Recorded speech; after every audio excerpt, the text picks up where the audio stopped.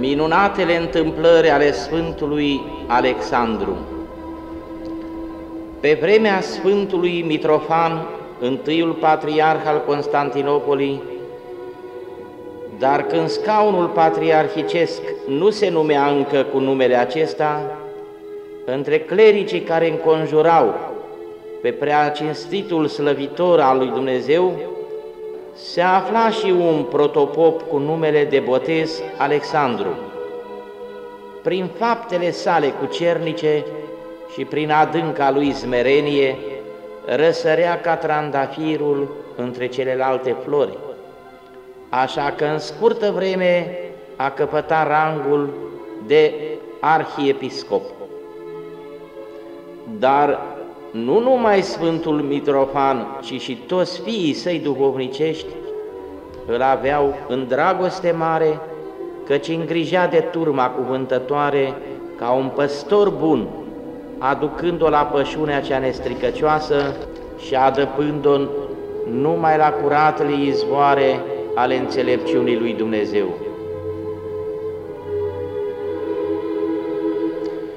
Tocmai în această vreme, după ce Biserica lui Hristos biruise întunericul, îmbrăcându-se în strălucit strai de lumină, iar prea cinstita cruce ajunsese semnul tuturor izbăvirilor, deodată ieșea ca porcul din pădure un ieres care a umplut de durere sufletele celor drept credincioși anume trăia pe atunci în cetatea Egiptului un preot iscusit cu numele Arie. Punând însă diavolul stăpânire peste sufletul lui, a început să propovăduiască că Hristos Dumnezeul nostru nu este de o ființă cu Tatăl, ci numai una, asemănare lui, hulind astfel trăimea una și nedespărțită, și coborând într-un acest chip pe Fiul lui Dumnezeu, de la treapta unde se cade să fie înălțat. Această ereticească învățătură câștiga multe suflete slabe și ca un vânt rău arunca în cugetele binecredincioșilor o turburare ce nu se știa cum are să îi sprăvească. Dar slăvitul Constantin, împăratul, în dragostea nemărginită pentru Biserica lui Dumnezeu, a strâns un sobor a toată lumea care avea să limpezească mințile cele rătăcite. În anul 325, de la nașterea trupească a Mântuitorului, s-au adunat în cetatea Niceii, a Bitiniei, 318 fețe mari bisericești, episcopi și preoți, mulți dintre ei purtând încă pe cinstitele lor trupuri urmele caznelor, muncilor lui Diocletian, care asemenea florilor din câmpie mărturiseau și ele slava lui Dumnezeu.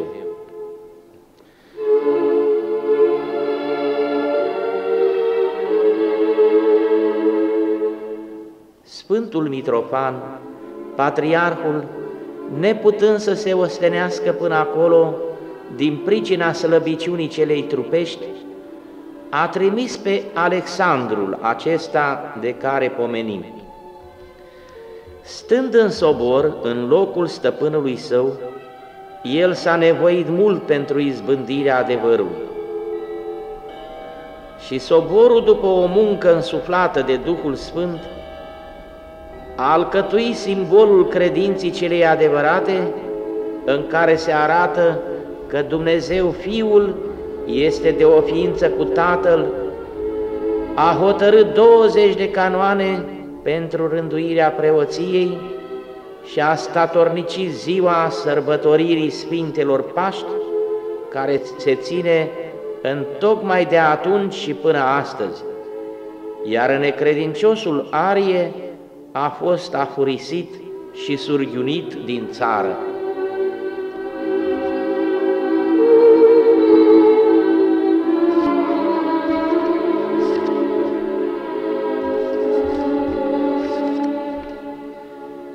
După risipirea soborului, Alexandru s-a întors la Constantinopol, unde păstoriții săi îl așteptau cu neastâmpăr iar Sfântul Mitrofan era acum bătrân și slăbit.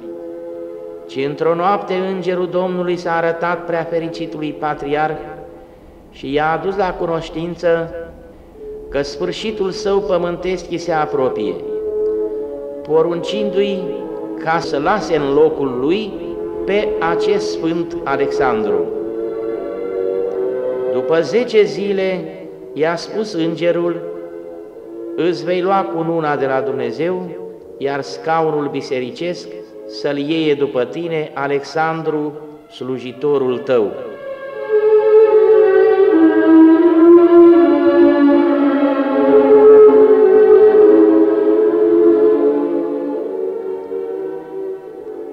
Deci venind Sfântul Constantin, împăratul, împreună cu puternicii pământului și cu fețele mari bisericești, ca să-și iei iertăciune cea din urmă de la Sfântul Mitropan, ce zăcea pe patul morții, l-a întrebat pe cine îl va binecuvânta ca să-i fie următor după mutarea sa.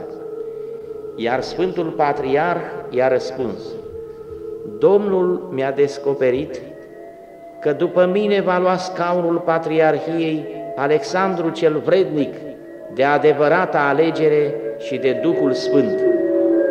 Și așa a și fost.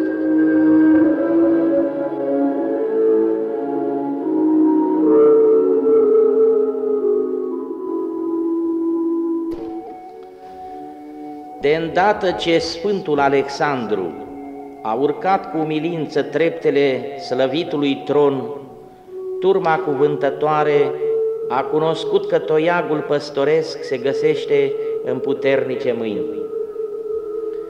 Acum lupii arieni și cei elinești nu se va mai putea apropia de oițele lui Hristos, căci nu numai ereticii, ci și filosofii păgâni căutau să zmintească mințile drept credincioșilor. Și filosofii aceștia erau nemângâiați în sufletul lor că cuvântul Evangheliei stăpânea acum lumea, mai ales prin o sârdia Sfântului Constantin, împăratului, fiul Sfintei Elenei, care era unul din cei care a adus libertatea.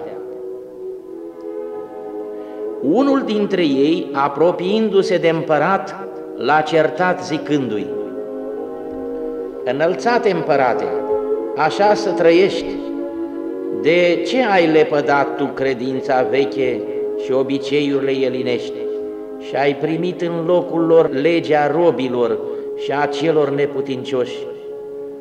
Au doar crezi că Iisus, care se zice și Hristos, este mai puternic decât Jupiter și frații lui? Crezi tu că învățătura cea nouă îți va mai fi de folos mai mult decât în tocmirile noastre vechi, în care strămoșii tăi s-au preamărit?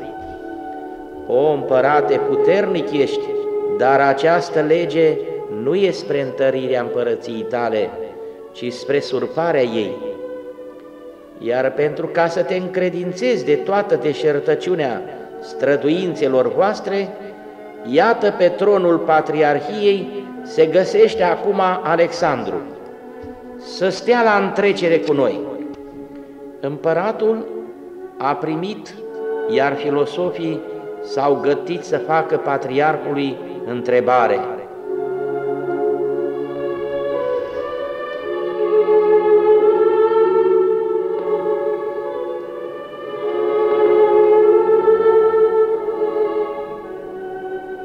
Sfântul Alexandru, arhiereul lui Dumnezeu, deși era neînvățat în filosofia elinească, dar fiind plin de harul Duhului Sfânt, nu s-a lepădat nici el ca să steie la încercare cu păgânii și la întrecere, ci ca Sfântul Ilie, prorocul, a vrut să arate puterea Domnului său.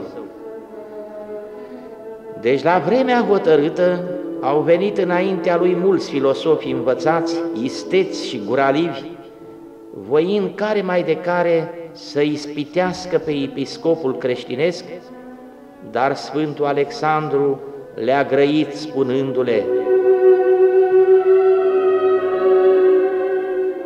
Stați și nu vă îmbulziți, ci alegeți voi filosofii pe cel mai înțelept și mai lezne cuvântător dintre toți și puneți-l înaintea mea, iar ceilalți așezați-vă și ascultați fără larmă.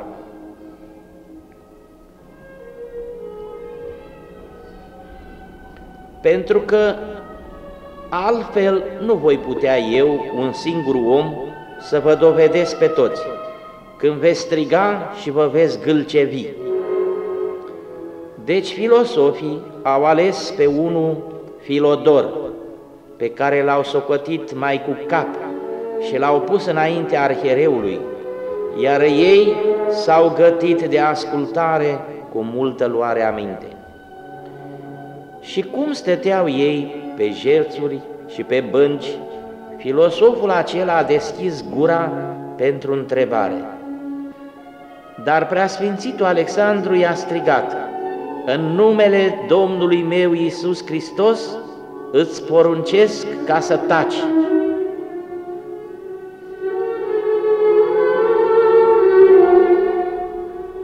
Și pe îndată, stând Filodor acela cu gura căscată, i s-a legat limba și a rămas mut. Văzând o minune ca aceasta, adunarea filosofilor s-a risipit într-o clipă. Unii dintre ei au fugit cu rușine, ascunzându-se prin locuri dosnice. Alții, rămânând pe loc, au crezut în Hristos chiar din ceasul acela. Iar filosoful cel amuțit, simțindu-și neputința, arătându-i se într-o acest chip că numai învățătura creștinească este cea adevărată, a căzut la picioarele arhiereului și cu lacrimi fierbinți l-a rugat prin semne ca să-i dezlege limba. Și Sfântul Alexandru, numai cu semnul Sfintei Cruci, l-a dezlegat din amuțire, ceea ce văzând Filodor, cu mare glas, a început a slăvi pe Hristos, botezându-se o sumă din prietenii lui. Iar Constantin s-a veselit cu toți credincioșii, dând slavă lui Dumnezeu, încât acela ce dăruise atâta putere robului său plăcut să preamărească prin multe guri. Nu mult după aceasta, Sfântul Alexandru a zdrobit numai cu puterea rugăciunii pe arie ce l-a furisit, iar minunea s-a întâmplat așa. Trecând patru ani de la soborul cel mare din Nicea, Arie a venit la Constantinopol, părăsindu-și locul de surghium, anume Efsevie, episcopul Nicomidiei, sprijinindu-l cu cuvântul și cu fapta, ca pe unul care s-ar fi pocăit, a mijlocit la oarecare fețe mari să-l înduplice pe Sfântul Constantin și să-l ierte pe Arie. Și împăratul, crezându-l cu adevărat umilit, l-a chemat la scaunul împărăției, găzduindu-l chiar în palatele sale. Când ereticul s-a înfățișat împăratului, i s-a închinat cu adâncă metanie, iar Constantin l-a întrebat, Răspunde-mi, Arie, crezi tu așa cum au întărit Sfinții Părinți în soborul de la Necea? Arie a răspuns, bătându-se cu mâna peste piept, Așa cred, împărate. Acesta era însă un vicleșug, căci el având în sân hârtia eriticeștii sale credințe și lovind cu dreapta pieptul, pe când răspundea lui Constantin, își zicea în gând, așa cred, cum e scris pe foaia asta din sân. Iar împăratul, necunoscând acest vicleșug, a crezut că nelegiuitul întărește cu cuvântul său încheierile și hotărârile de la Niceea. Și crezând fățărniciei ereticului, l-a trimis pe preasfințitul Alexandru ca să ia împărtășania ca un drept credincios pentru această osebită slujbă. Împăratul a rânduit ziua de duminică când Arie avea să se împărtășească. Dar Sfântul Alexandru, știindu-l pe Arie, începător de eresuri, nu voia cu niciun chip să-l primească în biserică. Fiind sâmbătă spre duminică, noaptea arhereului Hristos s-a aruncat în genunchi înaintea Sfântului Preastol și cu lacrimi fierbinți a rugat pe Dumnezeu ca mai vârtos să ia sufletul din trup decât să-l vază pe arie împărtășindu-se cu sfintele sale taine.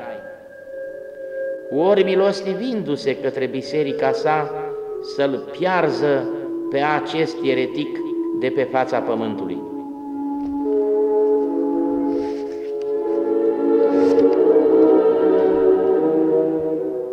Iar după ce s-a făcut ziua și s-a apropiat ceasul slujbei, Sfântul Alexandru a văzut pe Arie venind din palatul împărătesc cu mare pompă și cu strălucit alai.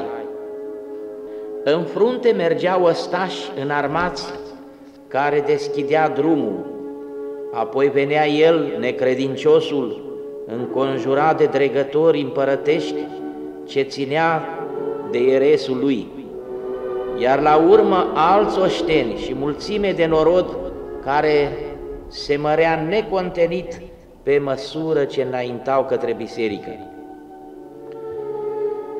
Când au ajuns aproape de locul, se numește Târgul lui Constantin, unde era un stâlp de marmură cu stema împărăției, Arie a îngălbenit la față. Găsindu-l o frică năpraznică, i-a venit din asta o nevoie trupească ca să iasă afară. Deci, oprind alaiul și uitându-se împrejur, căuta cu ochii un loc ascuns. Din întâmplare, prin apropiere, se găsea un adăpost de soiul acelora ce făcuse și Vespasian, împăratul pe ulițile Romei. Intrând Arii în lăuntru, a simțit o durere cumplită în măruntaire lui și zvârcolindu-se groaznic, a crăpat în două, ca și Iuda, iar mațele i-au ieșit pe dinapoi.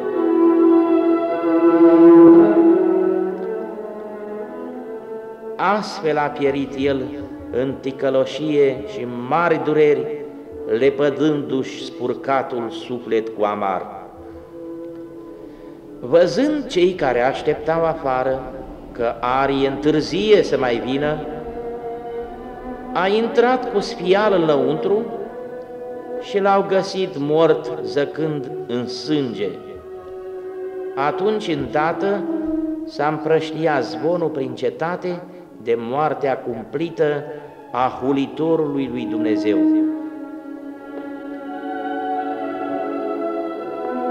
Deci ucenicii lui s-au rușinat fugind prin pivniți și prin cămări, iar cei credincioși bucurându-se că Hristos, adevăratul Dumnezeu, este izbăvitorul asupra vrăjmașului, i s-a închinat lui. Sfântul Alexandru a mulțumit celui atotputernic, făcând slujbă mare și prăznuire bisericii. Iar împăratul Constantin, întărindu-se mai mult în dreapta credință, a ținut dogmele soborului de la Nicea până la sfârșitul vieții sale.